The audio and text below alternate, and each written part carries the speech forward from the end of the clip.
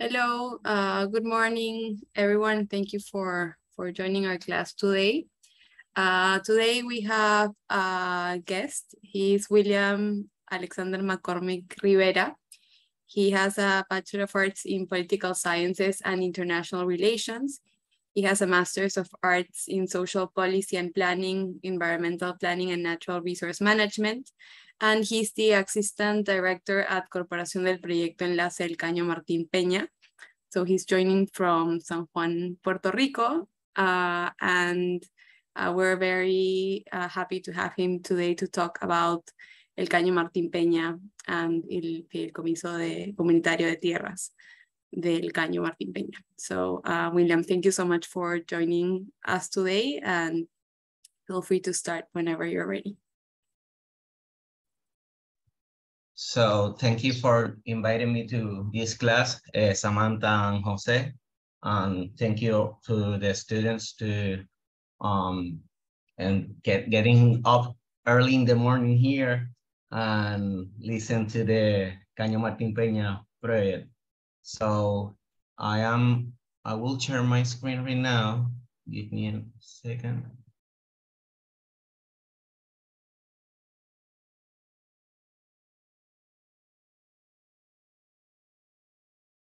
Let me know if you can see the the screen, please, because I can't see you. Yes. Um, yes. Okay, Yeah, thank you. Looking at it now. So whenever you have to interrupt me or have uh, um, a question or anything, let me know because I can't see the the Zoom page because I am in, in the full screen presentation. Thank you.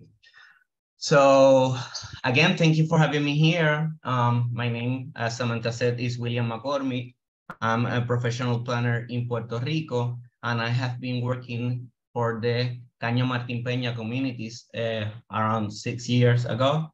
Um, today, I will be presenting the Caño Martín Peña Special Planning Districts, its community context, and the role of public participation in the policymaking.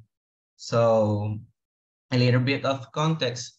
As you may know, Puerto Rico is a U.S. territory since 1898 and with a population of 3.1 uh, million inhabitants and our main uh, language is Spanish.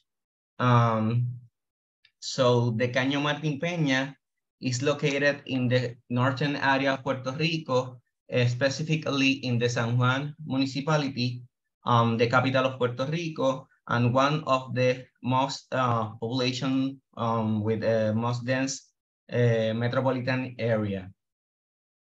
As I said, um, the Caño Martín Peña is a 3.7 um, tidal channel that's formed part of the water bodies of the uh, by estuary of Bahía de San Juan.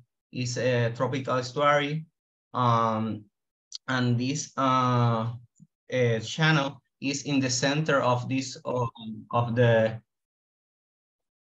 of the Hato Rey area, which is a, a community in San Juan. So if you can, as, as you can see, uh, you can, if it's the red, uh, the red line in the middle of the page, as you can see, if this area were not clogged like, like it is right now, that you can um, travel uh, with the boat from the point one, which is uh, the Bahía uh, de San Juan or San Juan Bay, uh, to the uh, crossing the Caño through other uh, municipality that they, uh, is called Carolina. So from Cataño, which is a, a, a municipality, to, through San Juan to uh, Carolina, crossing all these um, water bodies. So Puerto Rico is an archipelago and is an island, so it's important to conserve our coastline ecosystem and prevent erosion. So that is the, the mangrove uh, principal role. And 30% of the total mangrove acres um, of Puerto Rico are located in this estuary, the San Juan Bay estuary. So with eight endangered spa animal species, and uh, plant and 17 endangered plant species and a diversity of flora and fauna. A, a little bit of content about uh, the Caño Martín Peñas communities. Um, Caño Martín Peñas eight are composed about uh, eight communities that surround the, the water body or, or the channel. Um, the, the Caño Martín Peñas eight communities are mostly informal settlements, um, which almost 11,000 residents that live uh, next to the environmental degraded clogged tidal channel. Most lack of sanitary sewers and um, sanitary sewers and pluvial, pluvial uh, systems and, and the estimate shows that over 3,000 structure discharge raw in the canyon, but also uh, approximately 2,000 families lack of land titles and property rights to live uh, to the lands that they are lived uh, for five or uh, six generations. So 23% of the populations are immigrants foreign and born population, and 60% of this uh, population report to be uh, uh, be below of the income of poverty in the United States um, with a median income of to, uh, ten or eleven uh, thousand dollars. So this is a photo of the beginning of the cell.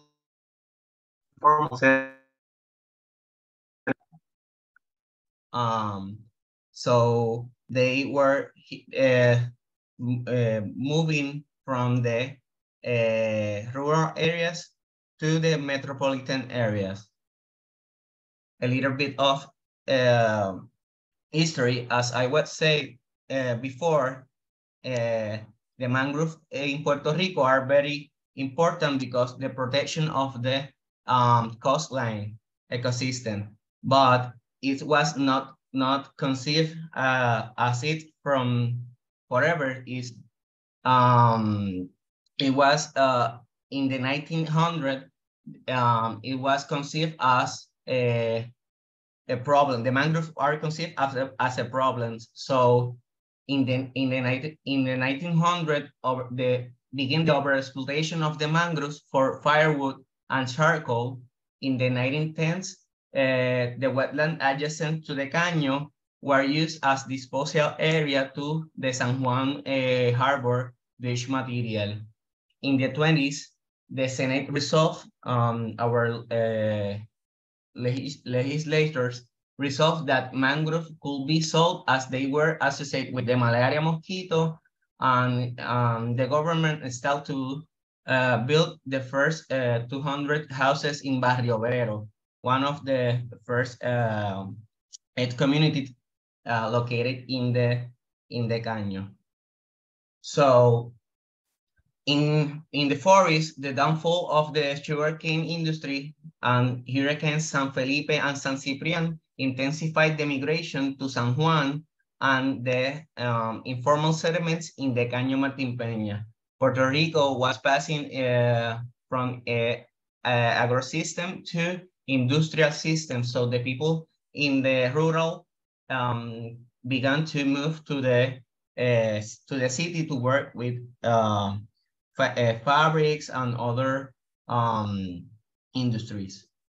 So in, in the 80s, the government reached the western portion of the Caño uh, Martín Peña to conduct a project that they called Agua Guagua.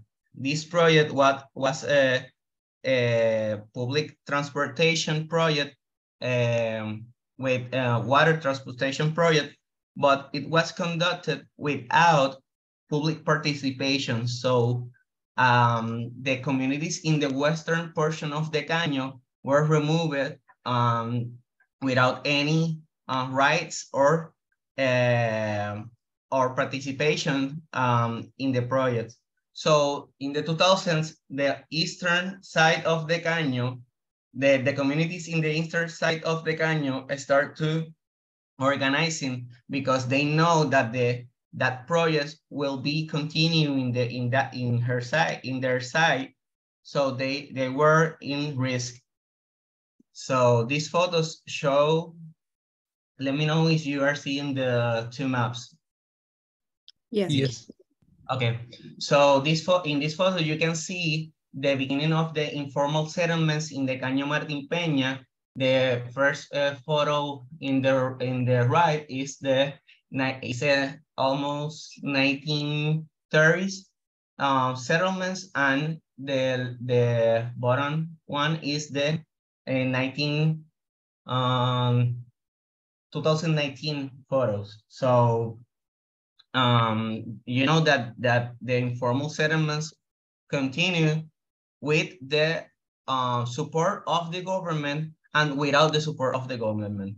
So these historical marginalized communities migrate from rural to the city and create these informal settlements on the banks of the Caño Martin Peña with lack of adequate infrastructure such, such as sanitary and storm sewer systems, um, causing clogged channel and also urban floodings with contaminated water with consequences such as respiratory disease, stomach, skins, and other health issues. So as I was saying, in, in the 2000s, the uh, community start um, to organize. They already know about wh what happened uh, to the other community like Fanguito and, and Tokyo.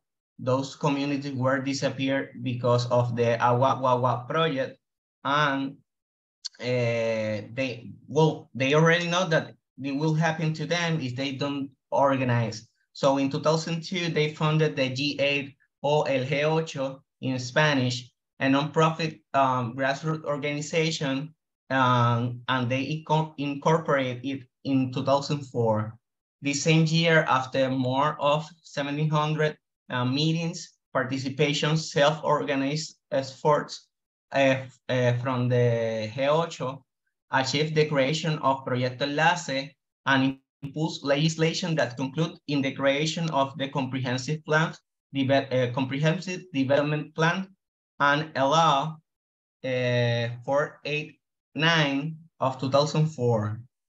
So this project was uh, set in a philosophy or uh, of participatory action planning um, citizen uh, is a citizen participatory uh, methodology that over that um, in this community means over um, 120 uh, leaders between youth and adults. They participate in director boards, representation, social, and they conduct social actions, um, conference, uh, press conference, presentations, um, manifestations and assemblies, etc.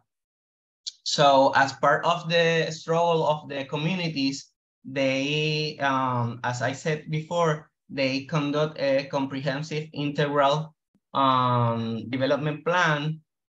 And also they, uh, they pass a law, uh, they impose the, the, approve, the approval of four 2089 uh, um, of 2004 uh, and that Act create three uh, two organizations. The G8 is the uh, the one in the center that is the activity community, the active community participation that promote and power of the community involvement, but they also create a public corporation that they call Corporación del Proyecto Enlace del Caño Martín Peña, because the, the comprehensive plan is, uh, the name of the compre comprehensive plan is the Proyecto Enlace del Caño Martín Peña, but the corporation is the one um, in charge of coordination and implementation of the comprehensive development plan and act as non-federal sponsor for the Caño Martín Peña Public Corporation. So as they create this plan. Um, the, the most important project uh, of this plan is the dredge of and the restoration of the tidal channel of the Caño Martín Peña, but as a comprehensive plan, they have also um, so many other infrastructure and social projects that I will discuss later. So they also create the Fideicomiso de la Tierra del Caño Martín Peña, which is, which is a community land trust to um, protect the community from the uh, speculation of the land and regulates the uh, land tenure and attends to, to situations, the informal settlements, um, the people without property rights, and also the speculation that will be um, part of the um, implementation of the, all these projects. So back in the 2004, the Caño Martín Peña has struggled to um, be recognized by the uh, United States Army Corps of Engineers because as a territory, all water bodies, bodies in Puerto Rico are in charge of the uh, U.S. Army's Corps of Engineers. So they they didn't want to recognize this project because uh, political issues, including um, the the one in the in the in the U.S. mainland and other similar projects that they don't have the funding to conduct. So in 2017, in 2007, sorry, the U.S. Congress authorized the Caño Martín Peña environmental um, impact assessment. In 2010, the Enlace project uh, starts uh, start to conduct the report. This report was in charge of the uh, the Army Corps of Engineers, but if they were um, so late in the process, so the the corporation the public corporation, all the non-federal as a non-federal partnership start to, to conduct the environmental impact, uh, statement. So in, in 2012, the uh, United States Army Corps of Engineers and Enlace signed an agreement to recognize the environmental impact, impact statement and uh, in, initiate a, a technical re review and in 2016, they approve this, uh, this document and start the design agreement of, for the project. Presently, this year, after 20 years of struggle of these communities and all the work from the Corporación Proyecto Enlace and Fideicomiso de la Tierra, the federal government allocate um, the funds to conduct the total of the project around uh, 163 uh, dollars only the federal part and we in here in Puerto Rico are in charge to identify the uh, um, federal match uh, like 35 uh, million dollars. So this project will start in 2000 and um, 23. Uh, um, but they we already have uh, conduct a project uh, in the area to prepare to the uh, the phase one of this project. This is the main page of one of our um, um, principal newspaper uh, announcing the uh, allocation of the funds. So this uh, project from the Caño Martín Peña, as you, uh, you can see, um, the, the initial parts um, are the um, cleaning or restoring the uh, mangrove in the area. Then they will dredge the, uh, then will they will uh, re reinforce some of the bridge one bridge here and two others bridge here and here. So, and the third contract is to uh, start the construction phase of the of the project. Um, we also have um, too, uh, too many projects uh, not related directly to the Canyon Bridge or restoration, Um, we also have a comprehensive water infrastructure plan um, because we need to know um, how the community will be affected from the dredge, but also from uh, the project that will bring their sanitary and um, pluvial or uh, storm um, surge. So there are, are a comprehensive water uh, infrastructure plan that also was uh, made with the community participation and uh, continuous consultation and participation of the community in the eight communities. So you also have, um, here I'm showing you the renderings of the, of the, what we'll like to see, the canyon will be a 100 by 10 um, deep, uh, the bridge, and also we'll have some uh, water parks in the in the side of the of the tidal channel. As part of the implementation and the execution of Dragado and the other infrastructure projects, there are some consequences. Some of the residents have to be relocated from their homes as the project partially funded uh, because as this project is partially funded with federal funds, it's not, com it's not compliant with the Uniform Relocation Act. So the houses that people will be relocated uh, must complete with decent, secure, and sanitary standards.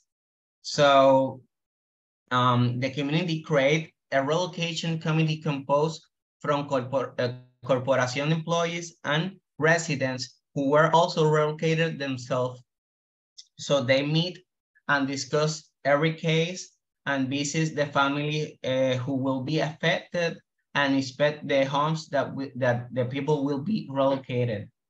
Um, this is an ongoing project. You can see the uh, 1994 um, map, the progress in the in 2004, and the progress in 2019. Um, and you can see the uh, reality of their houses right now, their um, um, relocation process, and the houses that they um, live right now.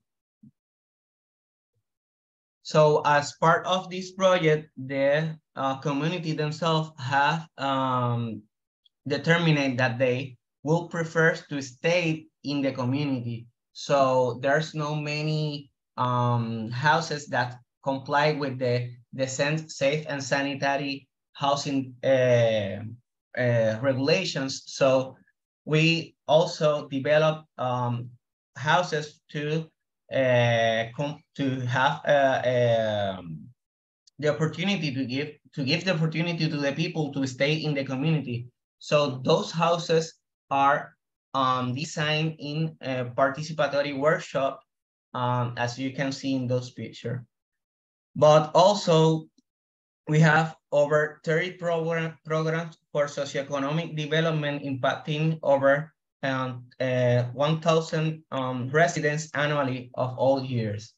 So we have community gardens, adult literacy programs, violence prevention programs, uh, participatory designs, as you can see in the last uh, slide, um, uh, a program that they call, call uh, LIJAC, which in Spanish means Líderes Jóvenes en Acción.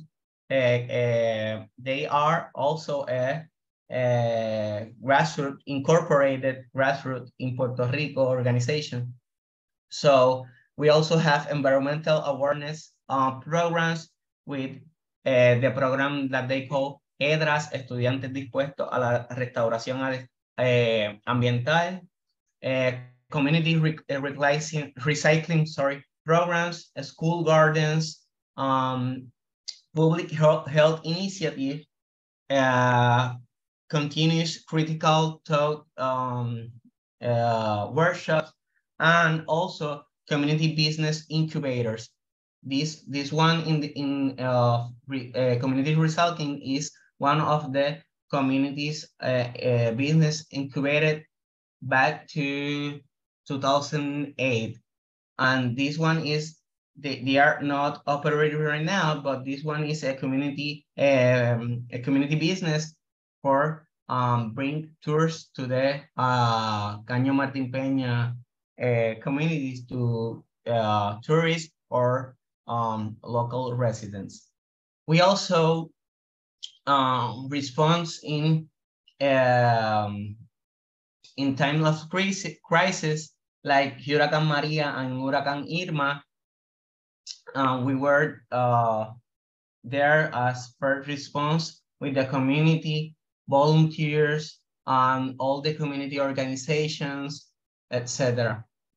So as a consequence of the implementation of this plan, um, the community land trust was part of the uh, law uh, 489 law, and the law created the land trust and passed a, a, all government lands of the, the district to the land trust management. So the, the Fideicomiso de la Tierra is a land trust um, and it's a novel mechanism to attend the informality and prevent the real estate speculation and displacement. Um, when it became law, the communities fought for the return of the lands of, uh, to the community land trust to continue the development of the uh, Caño Martín Peña community. So I would like to explain a little bit, but I, I will uh, like to show you a video that explain how it uh, this works.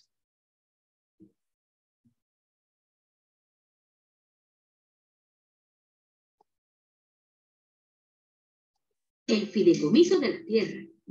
Un fideicomiso es como un contrato donde una persona protege los bienes de otra persona. Probablemente hayas escuchado que se usan para administrar dinero, propiedades y cosas así, pero hoy vamos a aprender sobre algo nuevo, el fideicomiso de la tierra. ¿Y qué es eso? Pues para entender desde el principio, déjame contarte una historia. Hace muchos años atrás, la industrialización de Puerto Rico causó que mucha gente que vivía en el campo se mudara a la capital para trabajar en las fábricas. Poco a poco, estas familias construyeron sus casas en los márgenes del Caño Martín Peña para así estar más cerca de sus trabajos. Y así crearon comunidades que han permanecido por generaciones. Como se imaginan, todo ha crecido a su alrededor. Autopistas, negocios, la zona bancaria, centros comerciales, con el tiempo, estos terrenos se empezaron a ver muy atractivos para los especuladores, así que poco a poco han tratado de desplazar a estas familias, pero no es tan fácil. Verás, como estas comunidades llevan aquí tantos años, algunas familias tienen un título de propiedad individual, o sea, un título que dice que ese pedacito de tierra donde ellos viven les pertenece a ellos.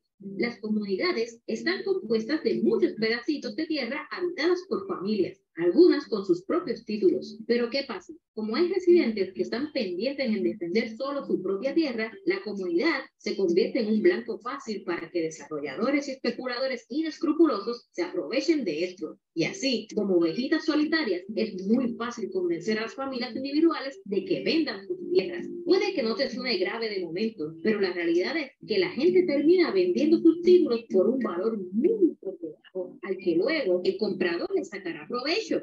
Cuando terrenos que han estado en nuestras familias por generaciones son vendidos por tan poco dinero, eso es un mal negocio. Y la verdad es que separados es muy poco lo que podemos hacer para defendernos. ¿Qué tal si hubiese una manera de proteger el bienestar de todos los miembros de la comunidad de estas y otras injusticias? Y así, las comunidades del Caño se organizaron y surgió la idea del fideicomiso de la tierra. ¿Se acuerdan cuando dijimos que un fideicomiso es un contrato donde una persona protege los bienes de otros? Pues el fideicomiso de la tierra es eso mismo, pero representa a todos los miembros que viven en nuestra comunidad. Es, por decirlo así, un guardián gigante, producto de la unión de todos sus miembros. Gracias al fideicomiso de la tierra, cuando un especulador venga a tratar de convencer a doña Mercedes de que le venda su tierra por una miseria, doña Mercedes puede decir, no, habla con mi guardián. El fideicomiso de la tierra es el instrumento perfecto para promover la integración de los miembros de nuestra comunidad, así como para defendernos en contra del desplazamiento y poder desarrollar nuestras casas y vecindad. Mediante el fideicomiso, cada familia es dueña individual de su vivienda y recibirá una escritura de derecho de superficie. Este derecho de superficie sobre el solar donde está la casa se puede vender, heredar o hipotecar. Es un derecho que tiene valor y aumenta la riqueza familiar, una mejor alternativa a los tradicionales títulos individuales, ya que todos somos dueños colectivamente de la tierra y la tierra no se vende. Así que ya sabes los beneficios importantes de pertenecer al fideicomiso de la tierra, ese guardián gigante de los derechos de nuestra comunidad, que se hace más y más fuerte cuando nos unimos todos. Con el fideicomiso de la tierra, la tierra es de todos. Únete. So as the video explained, the um uh, the surface uh surface right? Deed um is a um a document that gives the um uh right to um of the of the use of the land. Um in every individual family will be owner of the structure but the land will be collective um with a collective property. So we have uh right now more than uh, a hundred um surface right grids but also uh, 200 members land trust members so you can see the process that is conducted with uh, the voluntary or pro, pro bono uh, notaries in Puerto Rico, and they have an accompany uh, a, a process with uh, help with the communities. Uh, they help the community in all the process of the um the surface right goods. This is a photo of one of the our members, um, uh, Caraballo, and it's is uh, part of the community education in the the uh, putting those uh, uh, a message around the uh, properties that are a part of the community land trust. So as a community land trust, we uh, we also um, uh, rescue uh, some backend lots and convert the backend lot that means a problem to the community in a solution and create urban or community gardens. But we also have uh, in the Fideicomiso a variety of programs, including eh, the proyecto de recreación, integración y empoderamiento de la, de la persona adulto mayor, which is a, a project to um, bring the participation to older people in the community. Also, we have Cero Brecha Tech, which um, um, is a project that connect the people, the older people without um, knowledge of um, technology, we, um, brings uh, a workshop to the people to um, learn about this technology. Um, we also have the Techo Digno project, which is a small um, uh, rehabilitation of the uh, houses of our members. Um, we conduct uh, assemblies because in the board of director, the, the board of director of the land trust is composed mainly of uh, residents of the Caño Martín Peña. So this is the, the project of Enlace of Caño Martín Peña. This uh, land trust is a, a community self-organized project and I will let you with two quotes right here. This one, it says, y por primera vez los residentes fuimos actores de nuestro futuro. So meaning that the, for the first time they um, decide for the future of the land that they ha- inhabited from five generations. And I would like to conclude with a, a little long quote, but um, every time I have the opportunity to talk about the students, I uh, share this fragment of text that um, once uh, a professor uh, uh, teach to me. So it said, es verdad, atender los asuntos de una calle, de un barrio, de una escuela, no resolverán los problemas de, de Puerto Rico, podemos decir en este caso del Perú también, pero si no nos insertamos en la solución de los problemas prácticos y cotidianos, nos convertiremos nosotros en parte del problema del país. No se puede aprender a nadar si uno no se tira al agua. Si no, no, si no desarrollamos los músculos de la praxis, quedaremos atrofiados, pobres custodios eh, de saberes recónditos que nunca son puestos a prueba. Seamos atrevidos en nuestro servicio comunitario, porque nuestro sueño de una sociedad más justa y más equitativa cobra vida cada vez que caminamos esa calle, exploramos ese barrio y reinventamos esa escuela. Aprender a soñar en plural es posible si nos ejercitamos en pensar en plural. Hacer las tareas del futuro lo que precipita el futuro entre nosotros. Eso es una cita de Fernando Pico, eh, en paz descanse, historiador, profesor y um, sacerdote jesuita. Gracias. Thank you. Thank you, William, uh, very much for the presentation. Uh, this has been uh, really, really interesting. The, the case of um, of the Caño Martín Peña um, is very much in the um, in the conversation. This is something that uh, this is an experience that uh, we've been um, following very closely. I will say uh, in general in Latin America. So it's really nice to, to have you here and to see the presentation that you have done.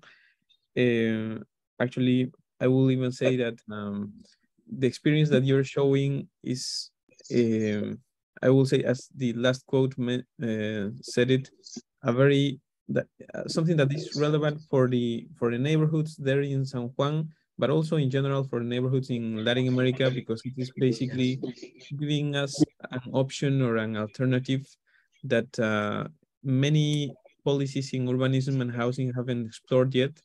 Uh, that is doing things for the community, but having those things uh, be preserved there and not maybe uh, through other mechanisms that maybe are going to just uh, generate some process of displacement with gentrification and things like that, because there are ways like the uh, Fideicomiso Comunitario de Tierras that allows us to have the community there both with the titles and with the with their participation. So I think that's that's also um, very important here in Peru because this is also a, a mechanism, uh, the Fideicomiso Comunitario de Tierras, that is now in the Peruvian laws, uh, and it is now in the process of being studied, uh, better regulated, and uh, hopefully implemented at some in some projects. So that's just to to give a, a, framework of where where there may be some things. And here in the in the class we have some students of law so I think that's also something that uh, will be interested to to bring there. So uh, I will say maybe we can um, first open it to to any question or comment uh, of the students. Uh, if you have any reaction to uh, William's presentation, we had some uh, some quotes that the students wrote for the for the session uh, we, with the reading that we had. I had one here written of uh, of Hano. If I don't know if you want to uh, talk about that one, but I but in general I don't know if there is any comment or question, so we can begin there, and from there we can uh, just uh, open the conversation.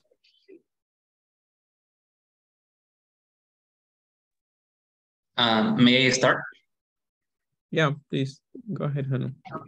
Uh, okay, um, the case that you, William, presented us, uh, remember, well, reminds me to my uh, home city. Uh, my I'm from Chimbote, and also I have seen people living near to a swamp. Um, I find some, I found some similar similarities between the case of, or, or the case of Caño Martín Peña and uh, that's Villa Maria's, Villa Maria Swamps because uh, I also found there because I live near uh, that near that zone uh, how people is, how people are starting to create their community sense and to help each other in order to continue living there. because due to a phenomenal Nino of 2017, they were, well, local government tried to relocate them in other areas, but they didn't want to get out of there. So they stayed and they made uh, and they made a union uh, during that problem uh, in order to keep uh, living there, even if it's well, it was not the best option for them due to living near to swamp uh, the, and near to some fabrics. But it's interesting how uh, they started to develop their community sense in order to keep their houses. Um, also, I find another similarity because uh, the reason why they are living near to a swamp is because uh, my city has, be, has become has become uh, a scholar, well, a mecca for students because in the Santa province, uh, most of the students uh, have to come to Chimbote in order to study because uh, most of the uh, school, well, most of the most of the offer of, from students, for example, in basic studies and also super studies are in Chimbote, so they come there, and also because most of the works um, that are well remunerated and that also give them more opportunities are in Chimbote. So uh, due to that, uh, they are moving there. Um, that similarity found there because uh, due to the degradation of Puerto Rico, uh, they are coming to live near to the fabrics, and that's the same that's happening in my city during due to the uh, fishing and some fabrics that are starting to appear in my city. So I will, um, I will say that we can share later uh, contacts uh, with the students because the Fideicomiso uh, de Land Trust conducts um, what they call Intercambio Internacional every year. So they, um, the communities um, bring together communities from different uh, uh, countries. We, all, we have uh, participation in Colombia, in Brazil favelas, in the, the next week we will come uh, go to uh, Brussels. So it will be nice to know more about the organization happening now in Peru and your community. I will also like to recommend you um, a book um, as a planner. Um, I have uh, this reading that they call uh, uh, listen what they said is is this is I call it my Bible, uh, my planning Bible because I have start studying um, environmental planning, but in the process of uh, doing my master in, in environmental planning, I learned that there's no planning without uh, people, without the people that will be affected of this planning. So um, listen to what they said is a good uh, guide to know what happened when you don't um, consider um, the, the public participation in the process and not as a consultation.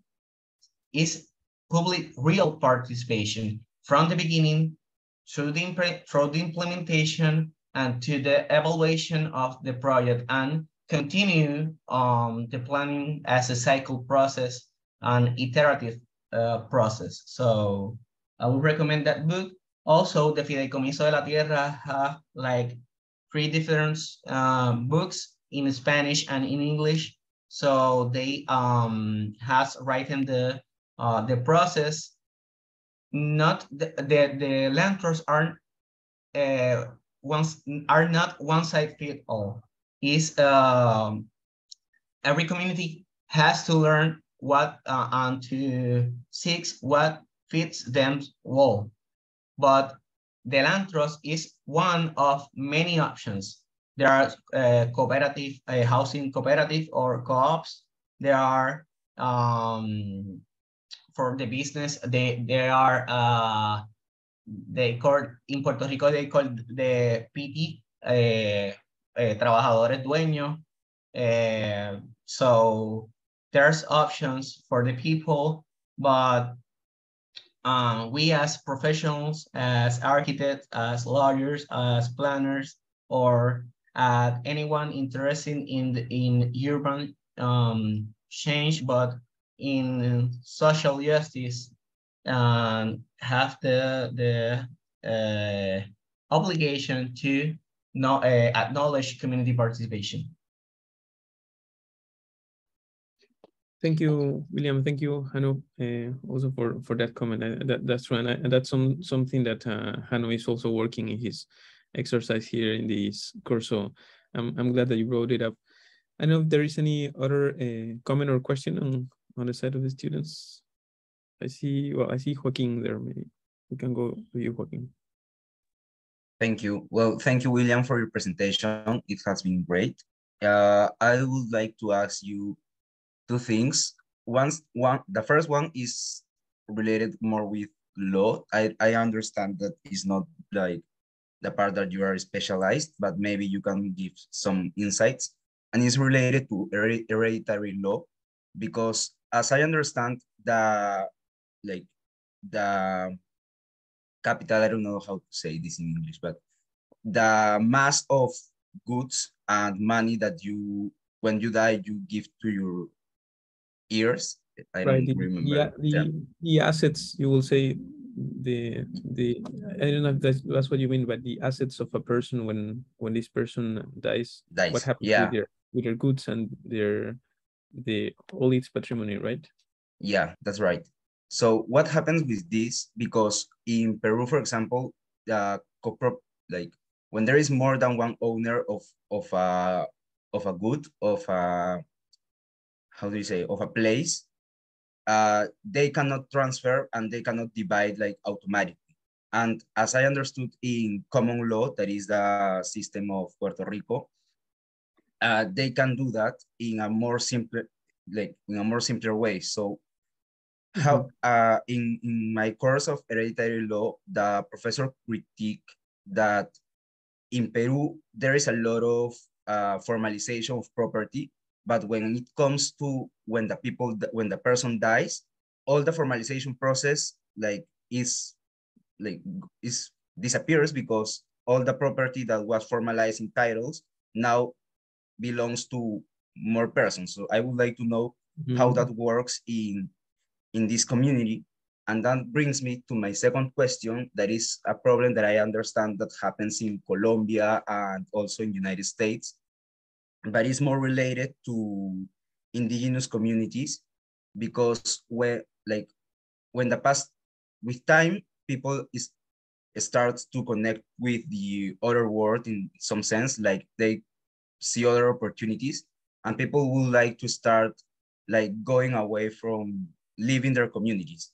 So in the experience of uh, indigenous communities what happened is that when okay so I'm part of a, of an indigenous family. My father died. I now, with my brothers, have the land, and they and we do not want to keep in here. We want to go to other country to study or just work in the capital or any other thing like that. So when we want to like sell our land because we are not longer part of a community, we do not feel identified with that.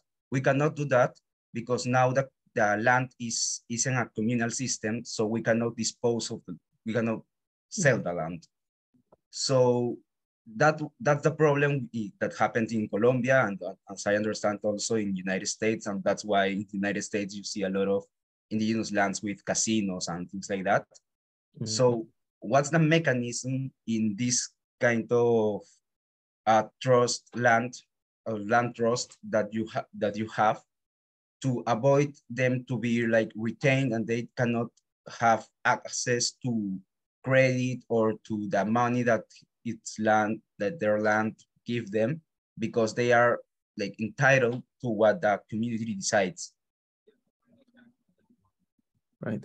Yes. Uh, thank you Hey, Joaquin, and may, maybe there are some very specific um, things on the legal side of these kind of things, but I think it's really interesting because there is the question of what happens when a person dies, what happened with the with the with the property there or with the surface right, and also in the case of a family wanting to move for any reason, for example, the one that Joaquin said, it would be interesting to know about the experience of that, uh, William. Yeah.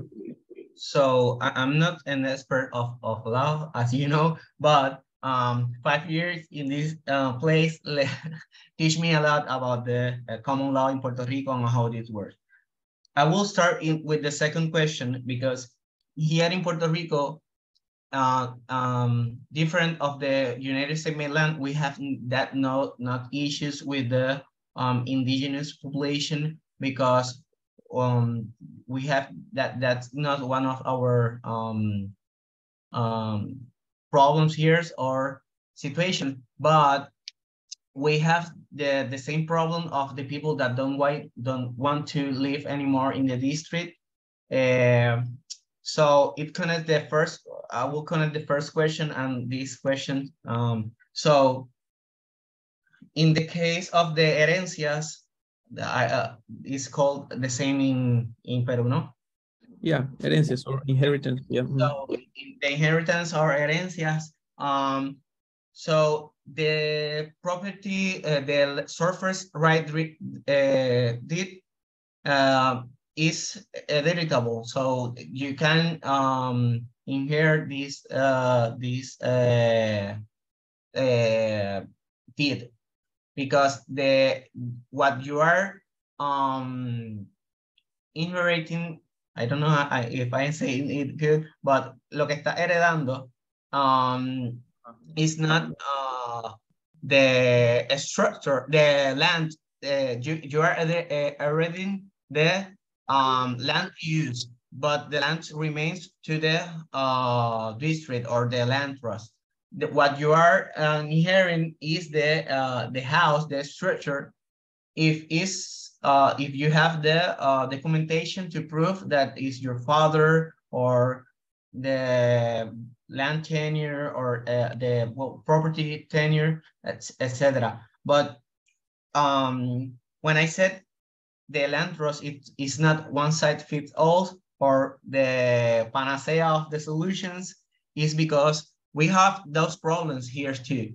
As you see uh, in the presentation, we uh, have only um, like a hundred, uh, a hundred 41 um, surface uh, right deeds. And it's because it's not, um, we already know that we have at least 2,000 um, people with uh, uh, land tenure or property right problems, but it's not that easy because there's no documentation to prove that you are the owner of the house.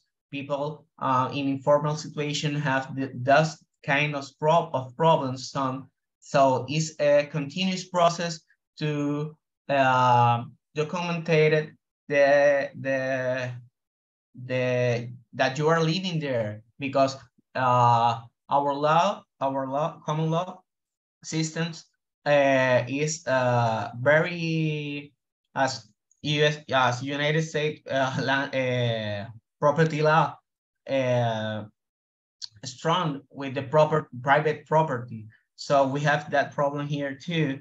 So um, what we have done is uh, that we have uh, social workers and um, pro bono uh, lawyers that helps those families to collect all the documents to present the document to uh, here in Puerto Rico they call registro de la propiedad which is a database of all uh, deeds. We uh, to formalize the um the surface surface right deed we form we registered that in the registro de la propiedad.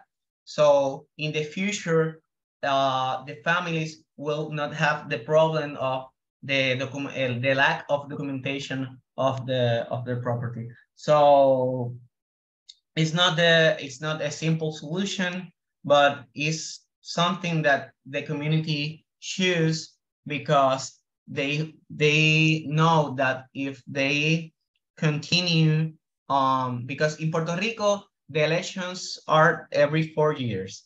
So what what is happening or what what will continue happening in Puerto Rico is that politicians go to the community and say to the community no um, don't don't um, be a member of the fideicomiso de la tierra because I will give you a property right, individual property right, but the community these communities understand that if they continue to um, um, having this uh, individual conception of the land tenure, they will be replaced because not only the gentrification uh, that brings the, the Proyecto Enlace on the bridge because the value of, the of the land will, will rise up, but also we here have problems with Airbnbs.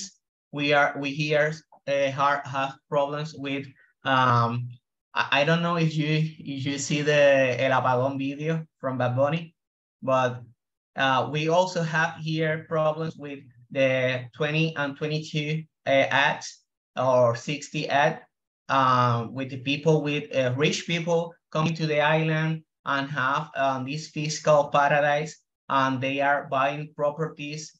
Um, right now I am in my home, but in front of my home, I have two Airbnbs.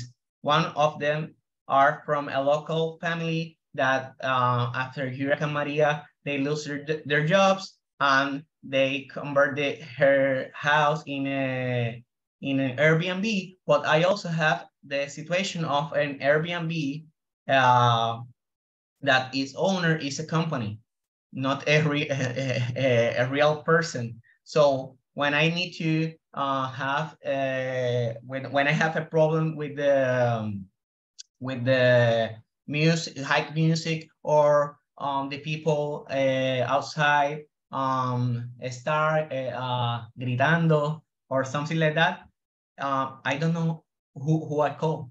So here in Puerto Rico, we have this problem too. Uh, the rents are so high. So people in the Caño Martín Peña recognize that that will happen to the community. That they, already know that that happened with the community El Fanguito and Toquillo. That I don't know if you know, uh, in Puerto Rico, we have a, a stadium called El Choliseo, with our urban artists um, and a lot of artists from all uh, uh, music styles uh, make concert here. Well, the community in this, the, the place that is constructed this stadium, the call Choliseo, was a community. And that community was uh, relocated because of the uh, risk of floodings or, or urban floodings.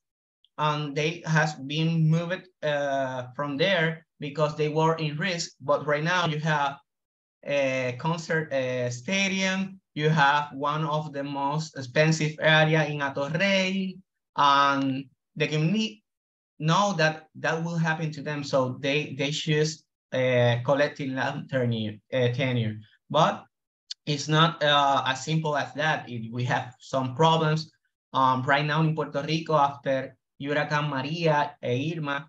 Um, and the, uh, the cost of construction um, rise up. So we have so many problems to um, uh, construct uh, housing in our district. So the people are um, right now there's no so many options of, of houses because if we are conducting the relocation process as a, as a public corporation, we have to comply so to uh, many laws, included the Uniform Relocation Act that that um, requires that the uh, house comply with decent, secure, and sanitary. So, um, so that's rise up the cost of construction. And right now, well, well people are are uh, real, being relocated, and most of the people, like 90% of the people,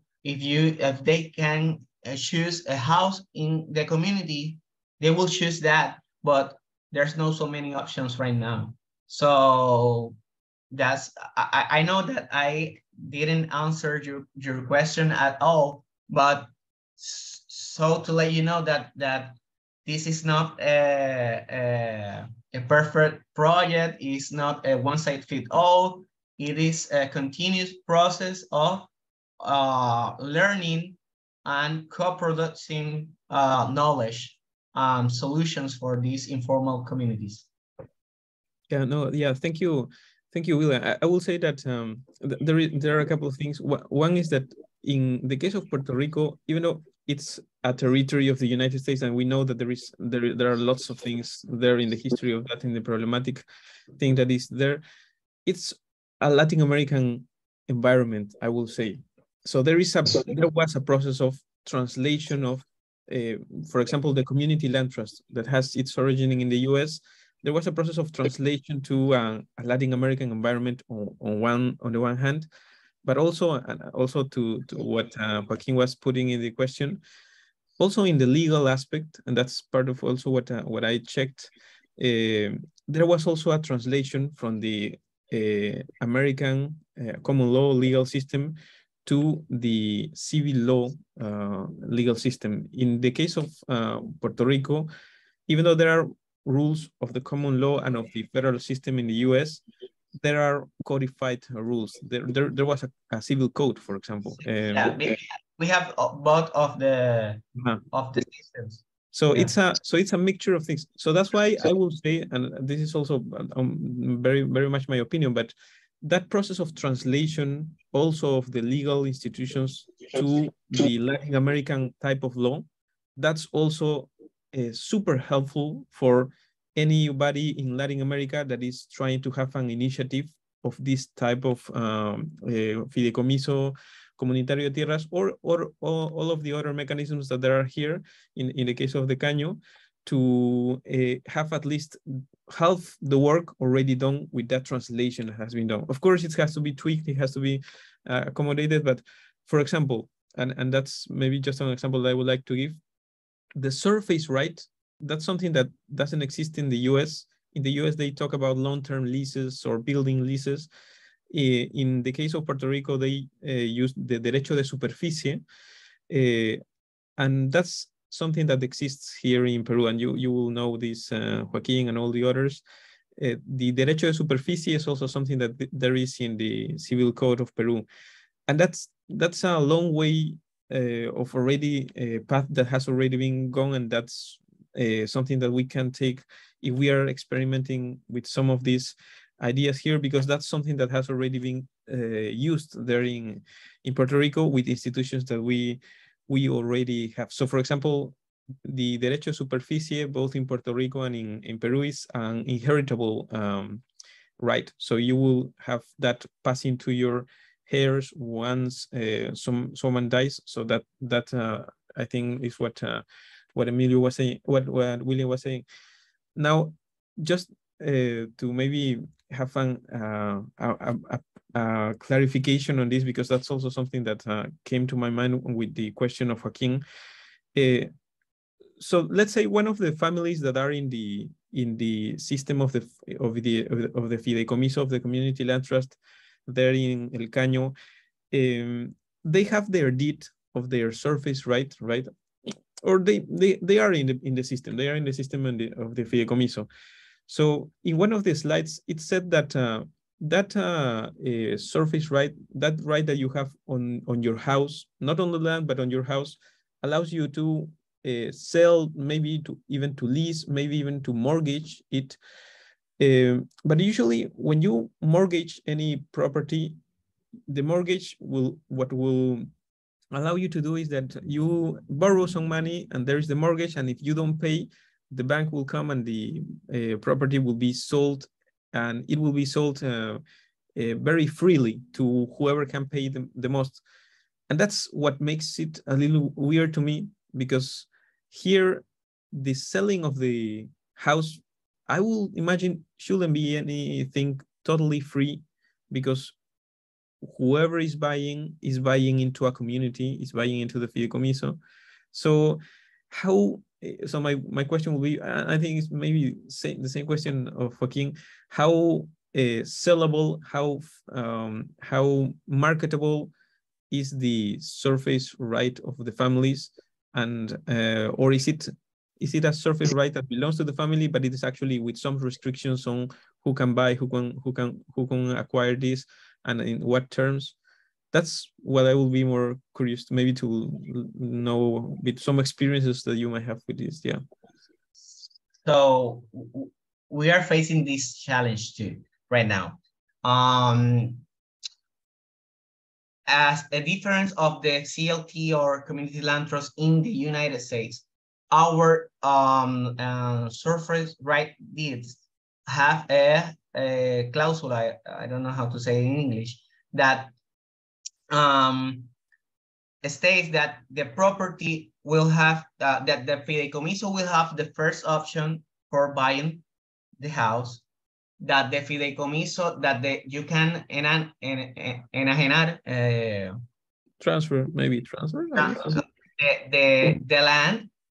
And so we are uh, in negotiate negotiations with the uh, local banks and uh, the secondary market, Fannie Mae, Freddie Mac, and all these mortgage houses, etc. So they uh, first understand the uh, land trust, um, eh, la figura jurídica, um, but also today recognize the uh, implications. Um, so there have been uh, little um, steps forward this conversation, but but um, what we know is that we will not ne- negotiate the uh, that clause, uh, esa, esa cláusula de, for for enajenación.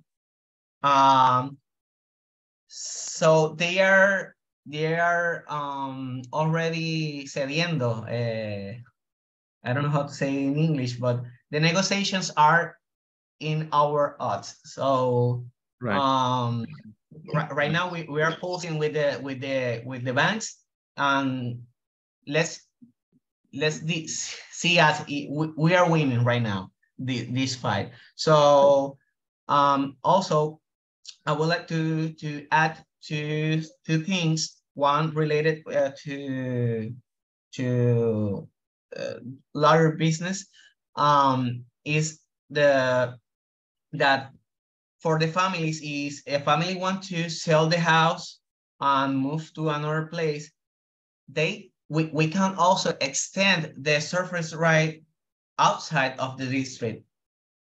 We also can um, buy properties outside of the district and make it part of the land trust.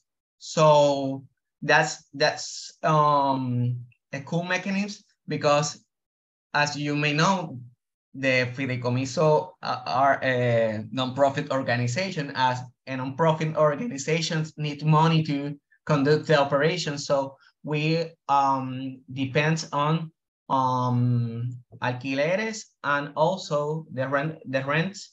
And also we have uh, grant writings for the operational cost of the land trust. Um, so I have said that I want to add two things. The other thing is uh, more from at uh, architecture. Um, I'm in the uh, preparation for this class. I asked Samantha uh, the com uh, the the composition of the students.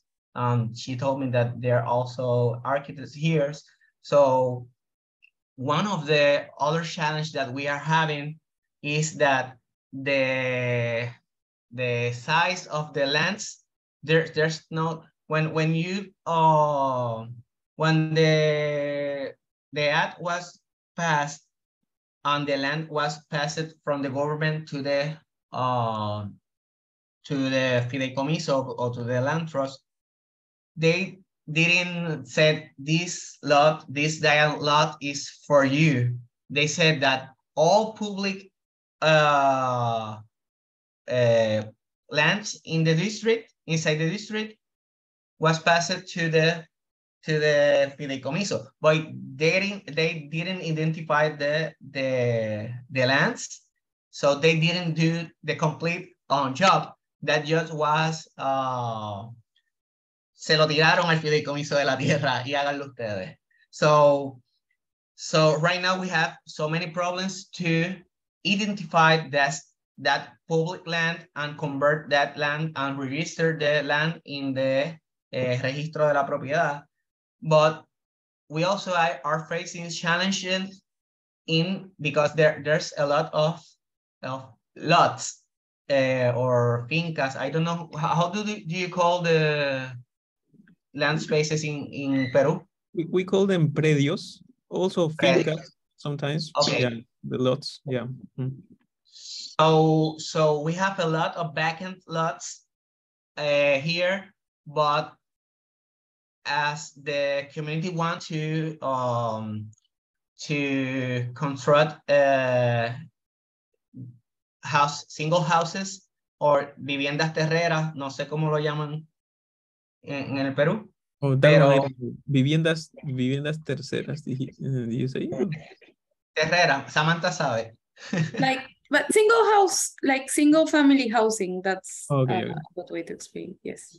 So uh, in Puerto Rico, the, the colonial situation brought off that the people don't want to live in uh, apartments or uh, townhouses or uh, we call there here medianeras, which are uh, houses, uh, row houses is a is a is a translation. So in the Caño Martín Peña is not is not uh, uh, different from the rest of the island. Everyone in the island want to live in a single housing family, but to be in compliant with the Decente Segura y Sanitaria of the Uniform Relocation Act, secure and, and decent um, sanitary houses, the houses must comply with uh, some specifications of, of uh, the patio, the uh, how many rooms they have, the spaces. So we're uh, facing challenge in in architecture. Um, we are because the designs, not all the, the designs fit the the literal spaces uh, in the in the land trust. So that's also a, a challenge. Um, but also um, the community are now start to thinking that, well, I would like to remain here. So maybe we need to understand that single family houses will be, will not bring uh, so many options to all our people. And so many families will need to uh, go outside the district and so right now we are in this conversation because right now uh, we are uh, starting to um, develop those houses. So it's an ongoing conversation. Thank, thank you, William. I think we're close to, to the time, so maybe uh, if there's any other uh, comment or question, I, I know I have brought the discussion too much to the law side, so maybe we have to bring it a little bit to the planning or to the design side uh, side of things. But uh, yeah, any other comment or question? And if not, maybe also you, Samantha, you might have something there. Yes, uh, I'm gonna give the students a chance to ask maybe one more question if they have any. Otherwise, I, I have a couple that I would like to talk very briefly about.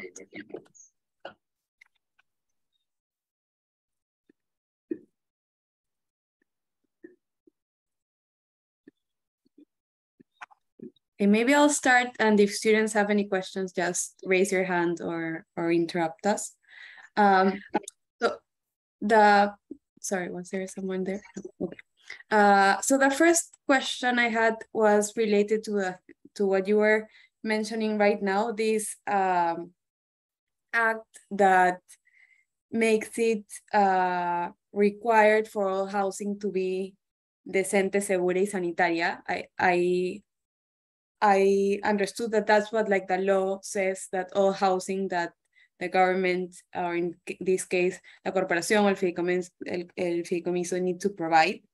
And I think you were mentioning that this description of what the decente is, is related to, for example, uh, the area, or if they need like a backyard, or if they need like a, a specific size of housing.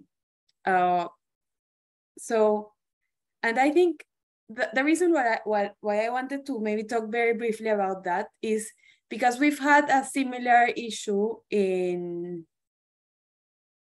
maybe not exactly similar, but somewhat related in, in Peru, where some um, residential areas have passed ordinances or legal uh, documents to restrict the size of apartments, for example, to uh, limit the possibility of having like low cost housing or social housing or public housing, whatever, whichever way you want to call it, in those uh, residential areas that are mainly occupied by high income families. So uh, I think it, I just wanted maybe to, to talk a little bit about how uh, legal frameworks can sometimes make it complicated to implement some uh, projects that are looking for maybe a less segregated or a more integrated or more equitable distribution of, of land resources services. So um, I don't know if maybe you can talk a little bit about that. And I think that's interesting to some conversations that maybe we've had in the Peruvian context in um, the past few months or years, yes. So the the the legislation of the uh, Uniform Relocation Act is a federal legislation. So most of our uh, income from for this project are partially federal funds.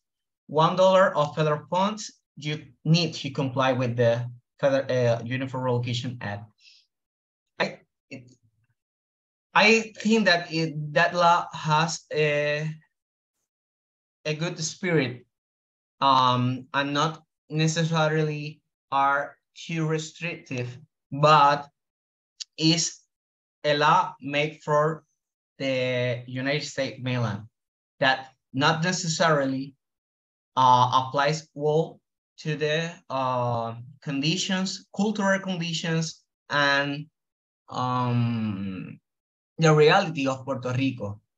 Uh, Puerto Rico is a lot in different way, culturally, um, what the housing meaning, the how do we design here is different from the U.S. mainland. So um, this uh, the descent uh, requirement um, is inside the house, like having uh, a good cabinets, having a, a privacy in the bathrooms, um, having a, um, a arma antifuego, uh, fire alarms, um, some that's those kinds of things, but also that the community is not located in a risk zones uh, like a floating area, etc.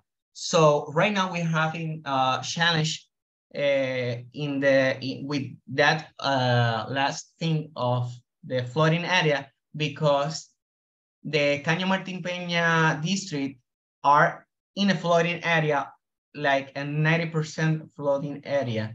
Uh, if you use the FEMA maps of FEMA, the Federal um, Emergency Agency.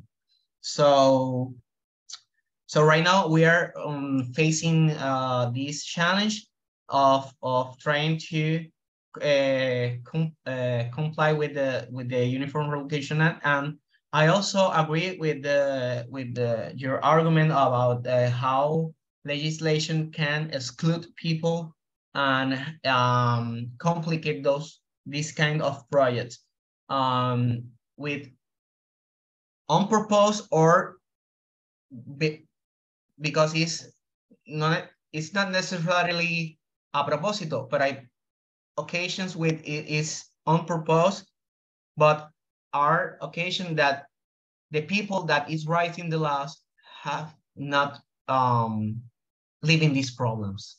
So when the, the people that will be affected are not included in the in the writing of the laws, in the conservation of the projects, maybe you are um, um, making bigger a, a real problem, a real problem. So, so I can have a, a, a, a direct uh, example. Here in Puerto Rico, we have a regulation called Reglamento Conjunto de Permisos, which also have a zoning, um, the, the rules for the zoning. So when we pass the, uh, when we create this project, it's also a comprehensive plan with zones um, plan. So you have a comprehensive infrastructure plan and social plan, but you also have a land use plan. Um, right now in Puerto Rico, um, they are writing a new code uh, or new regulation for the zoning, and they are um, not recognizing the our plan. So uh, we have found this in the in the past uh, in the in los tribunales, and we prevail. And probably if they right now does uh, not uh, include the the Caño Martín Peña Special Planning District in their uh, new re uh, regulation, we will fight it again. Thank you so much for for that uh, explanation. I think that actually leads me to my second question. I and I think we have a few minutes for that, but I want to give the students one more chance to to ask their questions.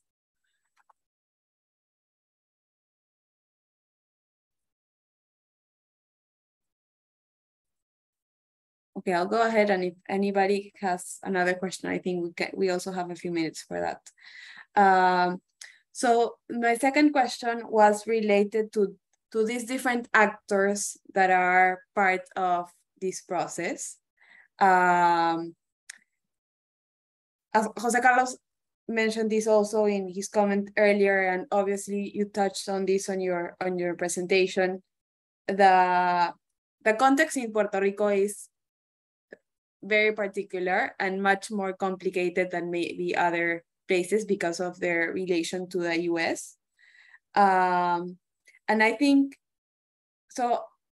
I'm, and now you were also mentioning how this is not only so the actors are not only like US or federal actors that are part of this process, but also sometimes in the same island in Puerto Rico, how different agencies maybe not always consider what has been done from the bottom up in the Caño Martín Peña in these like processes, for example, in the example you're mentioning of land use zoning.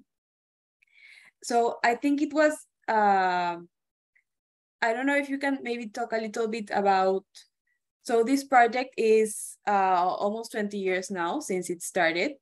Um, and the US Army Corps of Engineers and the federal government of the United States has only this year allocated the budget for the project to be implemented when I think the original timeline for the project was was supposed to start a long time ago.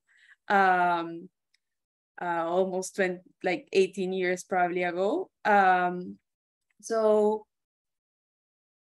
maybe talk a little bit more about that uh, complexity of uh, different actors being part of the process and if you can talk a little bit about also how do you think the next years will be in this uh, what seems like a more cooperative uh, uh, like relationship with the federal government, which is something that maybe hasn't happened until now. So that that confluence of different actors and making people like work together in a project and uh, what does that look like or what do you think that might look like in the next years? So first of all, I have to recognize that it's not an easy project, but the community organization make it easier because I'm a public um, worker. So I work for the government, but I know that the government not always have the reason that not always have um, that the that don't always listen what they said. But we are here to conduct the project and implement the project. So when the things goes uh, difficult, the community is there, reminding us why we are here, why they organize this themselves, and that they will be continued there, struggling and fighting for their rights. So that's made it easier for us because sometimes you you is uh it's difficult to be part of the government and at the same time you know that there are there are budget limits there are um political issues uh, partisan issues and also they they are uh legal um restrictions so recognizing that is frustrating sometimes, but the communities there, they live there. Um, they also visit our our headquarters every day. So um, um that uh that's made easier the, the implementation of the project. Uh, as you were saying, um, this is a, a, a the public corporation, the last corporation where I, I work for, was created because of that because nobody um carreteras, the authority of, of, of carretera in Puerto Rico know how to make carreteras. The Department of Vivienda know how to make housing. The Department of uh, Natural Resource know or should know how to defend um, uh, our natural resources. But they don't know nothing about a comprehensive of this project, the components of uh, infrastructure, the components of structures, um, the social, um, um, the, the social problems of that are facing these communities. They don't know uh, about the needs of uh, a, uh, business development in the area so the people can remain there living there. So enlace is the enlace in Spanish means a, a thing that that um, reunite all these people and uh, coordinate the implementation of the plan. It's something very difficult. It's not easy. Um, we here, as I said before, in Puerto Rico, elections uh, are every four years. So the people that you are talking right now, then it will pass four years and maybe you need to start again the conversation. But you also have uh, another uh, layer that is the federal government. So this project is the uh, results of community organization, consistency, um, people recognizing that as professionals have an obligation to listen what they said um, but also maybe some luck, maybe um, the to be consistent permits us to be en el momento indicado, en el tiempo indicado, con las condiciones indicadas. So, um, and it happened. If you ask me in December last year that the US government will recognize the funds, I will tell you you're crazy. That will not happen the next year. And in January this year, the announcement, the announcement was made. So we were all crying. We were all happy because as planner, or as social worker, or as a community advocate, you don't have so many projects that you can see that, whoa, this is becoming becoming a reality. This is this will change so many lives, but also will serve as a pathway or blueprint for future generations, how things can be make difference and how um, you need you you can uh, put in the same um, table community, um, third sector, government, and as equals, not as uh, um, hier hierarchy of power. So I think that the, that the key is the consistency of the community is the key. Right. I think we're we're with the time, but uh, thank you so much, uh, William, for for your for your responses to to our questions and also for your presentation. And uh, as I said, um, the experience of um, uh, El Caño is one that I think we're following closely. So I hope that uh, we are somehow in touch and we can share some experiences and some some ideas as well uh, in other spaces. So thank you so much. Just a virtual clap to to William for for his time or for um, having this time with with us this uh, Saturday morning. now, thank you for for inviting me. Thank you, Samantha. We we already know each other in Puerto Rico. She helps this project a lot. Um, so I'm looking forward to learn more about uh, Peru situation. I would like if you have some readings um and send it to me. But I will also um um, seeks for uh, collaboration and uh, intercambio in the future with the Fideicomiso de la Tierra. Um, this is a continuous process of learning and co-producing uh, knowledge. So I will be open to, and I, I am thankful for having me here in this morning. Thank you, everyone. Thank, Thank you. you Thank you, William.